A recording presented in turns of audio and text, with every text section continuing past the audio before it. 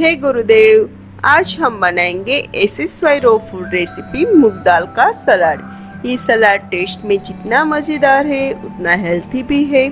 आयुर्वेद के हिसाब से मूंग दाल खाने से शरीर में शीतलता रहती है, हमारे हार्ट को हेल्थी रखता है और हमारे स्नायु को मज़बूत बनाता है। तो चलो अब हम इसे बनाना स्टार्ट करें। इसके लिए क्या क्या इंग्रेडिएंट्स चाहिए, ये मैं बताती हूँ। इसके लिए यहाँ पे मैंने ली है भिगोई हुई मूंग की दाल, जिसे दो घंटे भिगोया था। कुकुम्बर के पीस, बारीक कटा हुआ बीट, बारीक कटा हुआ कैप्सिकम, हरे नारियल का बुरांदा, बारीक कटा हुआ टमाटर, गाजर का बुरांदा, अनार के दाने और बारीक कटा हुआ हरा धनिया। इसके साथ मैंने मसाले लिए हैं। मसाले में लिया है धनिया जीरा पाउडर, संचल पाउडर, नमक, काली मिर्च और नींबू का रस। तो अब हम एक बाउल में भिगोई हुई मूंग की दाल पहले डाल देंगे। मैंने हाफ़ कप ली थी, भिगोकर ये एक कप फूल जाएगी। भिगोई हुई मूंग की दाल आप दो घंटे भिगोना है इसे। इसमें मैंने डाल दिया cucumber one tablespoon capsicum one tablespoon beet one tablespoon गाजर का बुरांदा वन टेबल स्पून हरे नारियल का बुरांदा दो टेबल स्पून टमाटर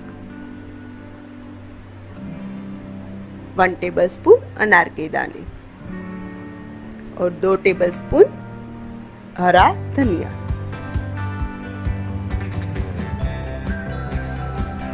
हम इसमें सारे मसाले ऐड करेंगे वन टेबल स्पून धनिया जीरा पाउडर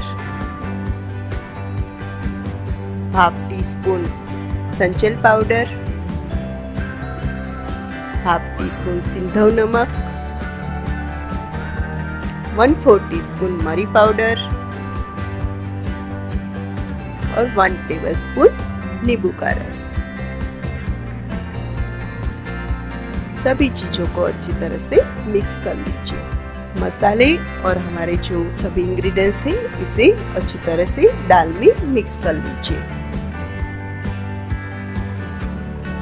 ये सलाद बहुत ही टेस्टी और मज़ेदार बनता है। इसमें भरपूर मात्रा में प्रोटीन विटामिन और फाइबर्स है। ये आप दिन में कभी भी खा सकते हो। इसे मैंने अब एक सर्विंग बाउल में निकाल लिया है। तो दोस्तों, आपको ये मेरी रेसिपी कैसी लगी, ये मुझे कमेंट बॉक्स में ज़रूर से लिखिए। अगर आप मेरी चैनल पर नए हैं तो सब्सक्राइब कीजिए, ताकि ऐसी ऐसे स्वाई की हेल्थी रेसिपी आपको मिलती रहे। मेरी इस रेसिपी को लाइक कीजिए शेयर कीजिए। दया तलाविया का जय गुरुदेव।